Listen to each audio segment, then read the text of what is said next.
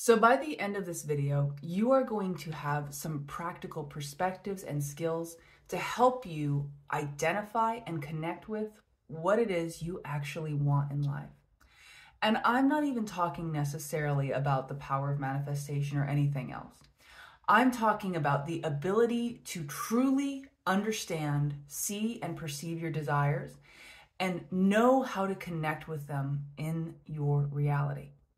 It's a very powerful skill to have, and although it is a very simple one to identify, people often find it challenging in their lives, usually because there is certain attachments involved with running their current patterns, or because they may simply be projecting so much energy towards the way they've done things that they may not realize there's another way to go about getting what you want in life.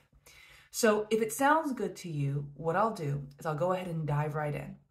I'm Danielle Lynn, and I help people connect to flow based states in their reality. And what I'm going to do is I'm going to go ahead and share some perspectives. Now, this is completely unscripted, and as really most of my videos are, if not perhaps all of them. And the reason I'm sharing this with you is because I am tuning in to whoever is connecting on this video. Now, since there's going to be many different people connecting on this video, some of the information may or may not directly feel like it connects to you, but if this has called to you thus far, if you are sitting here, I invite you to check this out and really sit with an aware intention because you will probably get something pretty cool by the end of this video to apply in your life so that you can connect with what it is you want. All right. So, if that sounds good, let's dive right in.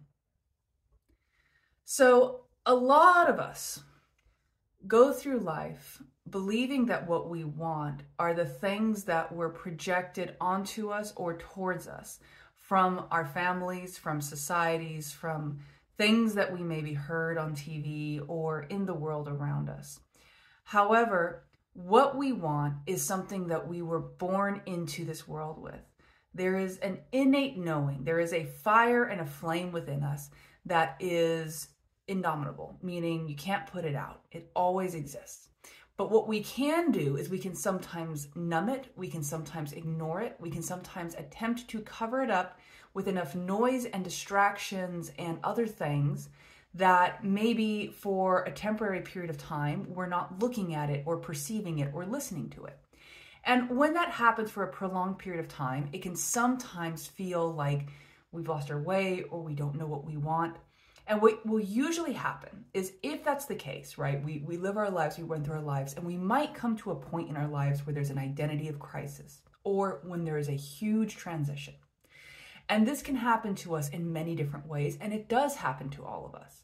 I'll simply say, just so that you understand, it's not a failing, it's not anything faulty to sometimes be distracted from what our flame is. In fact, part of this human experience is the joy of us going forward and having many different experiences and experiments in our lives. And so sometimes we might even experiment and experience what happens if I forget what my flame says? So, really, there is no wrong way to live your life, but there may be ways of living your life that you enjoy more than others. And a lot of times, I like to compare life to a buffet. You go to a buffet, and maybe in the beginning, you put a lot of little different things on your plate because you want to try a lot of little different things. and you'll find some things that you're like, oh my goodness, this is so, so good. Other things you're like, not even gonna touch that goes in the dishwasher. And life can be the same way. And not just one life, but any multi life experience that you have had may have been you trying the different flavors of things until you create and identify the palette of what it is you truly enjoy experiencing. And, and, and if you're watching this video, you are one of those people who has gotten to the point where, whether in this life or, or across many lives, you have tried many different things and you are at a point where you are ready to live and experience what it is you want. the accumulation of all the different things you have tried. So this is like going back to the buffet. We're like, okay, now that I know what I want, I'm going to pick the exact things it is that I want. Sometimes along the way of doing our experiments and our experiences, we can pick up certain patterns Sometimes these are conscious, sometimes they're unconscious. Sometimes they're ancestral, sometimes they're habitual, sometimes they come to us so that we can have certain really euphoric moments of overcoming the challenge. And sometimes they're just things that we don't know that we don't know. And so, what we do in order to help ourselves out is we create synchronistic points, excuse me, such as this video, such as certain books, such as other videos, teachers, tools, things that you might come across that are going to help you come into awareness of what it is that might no longer be serving you so that you can make new and conscious deliberate choices. Because the very, very, very, very cool thing about the current reality that we find ourselves in right here, right now, this reality, wherever you're watching this video, is that this is a, mm, almost wanted to call it a melting pot reality, but this is a pivotal point in reality where so many things, so many experiences are possible.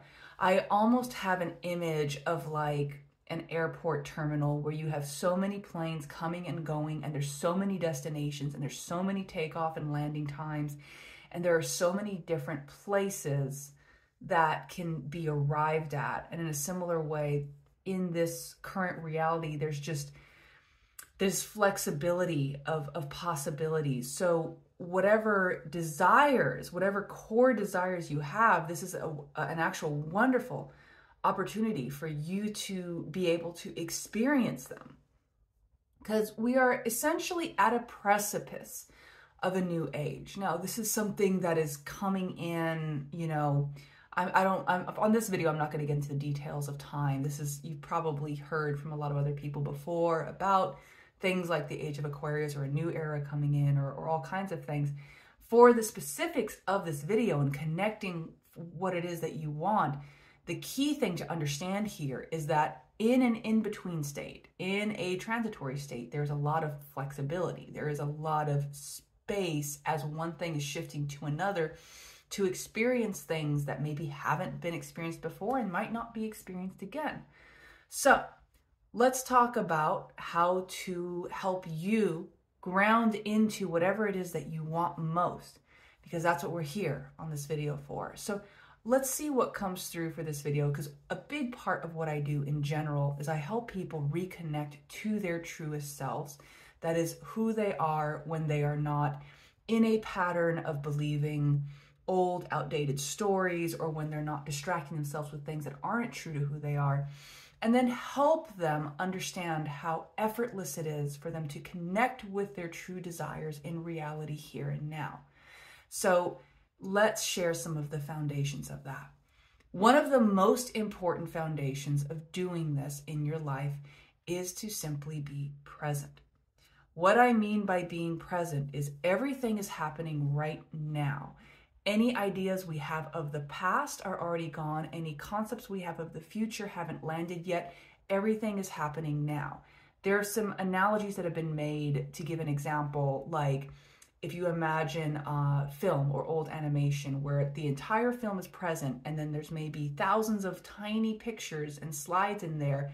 And when you run them really fast through the projector, they make the very fast moving image.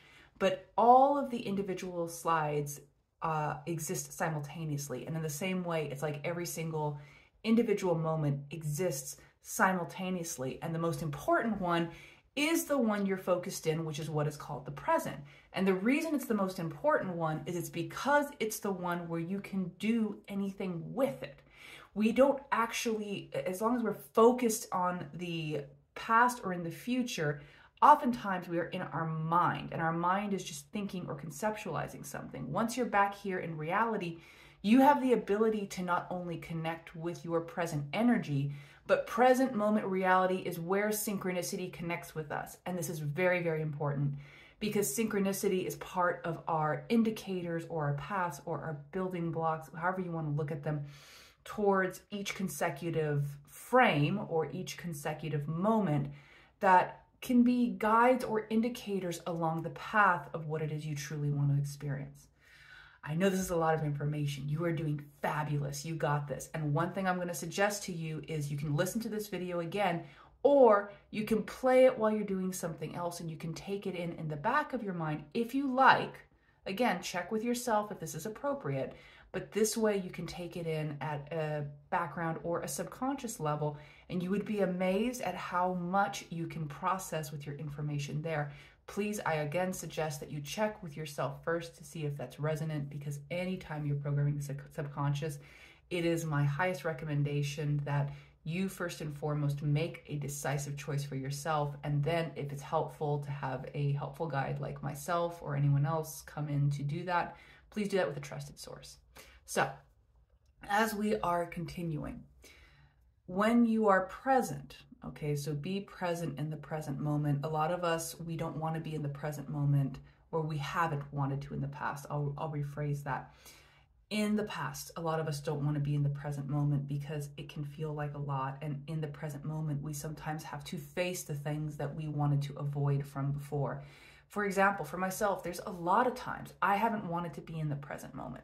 I spent a lot of my childhood in my head and living out stories, living out fantasies. I read a lot of books, I played a lot of video games. I really, really, really, there was like a lot of times I didn't want to be. And it's not because I had like the worst childhood for myself, I reality was just a lot. It was a lot of stimulus. It was a lot of experience. And sometimes I felt extraordinarily overwhelmed. And the way that I coped with it was to attempt to slip out of my consciousness and focus on something else and get in my head. So, a lot of us will have a lot of different reasons for maybe not wanting to be in the present moment. But a key, key one is often that discomfort. Now, what I would like to share with you at this time is presence is one of the keys for understanding what it is you want the most. Even if I said nothing else, presence will help incredibly. Once you have presence, you then add in gratitude. Once you are grateful for what's going in your life, you can then access your truest desires. Those feel like expansive fires within you. These are the components for understanding what it is you want. I'm going to leave some more details in the descriptions for us. In future videos, I am very willing to go deeper with this topic. Please share in the comments how this has resonated with you or not, or if you have any questions. And if this has been helpful, please do like, share, and subscribe. I have so enjoyed this first dive into this exploration together, and I look forward to going further, deeper, and more fun. Talk soon.